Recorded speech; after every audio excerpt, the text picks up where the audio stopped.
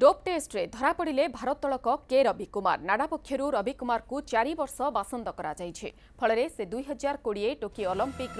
বাদ পড়া নিয়ে আশঙ্কা করা যাচ্ছে রবি কুমার দুই হাজার দশে রাজ্যগোষ্ঠী ক্রীড়ায় স্বর্ণপদক হাসল করে দুই হাজার চৌদরে সতস্তরি কেজি বর্গরে রৌপ্য পদক হাসল করে त अन्य चारि खेलाडी डोप टेस्ले धरापडिन्छ भारत पूर्णिमा पाण्डे गुरमेल सिंह स्प्रिन्टर सञ्जित र डिस्कस्रो खेलाडी धर्मराज यादव चार वर्ष पनि छन्ते।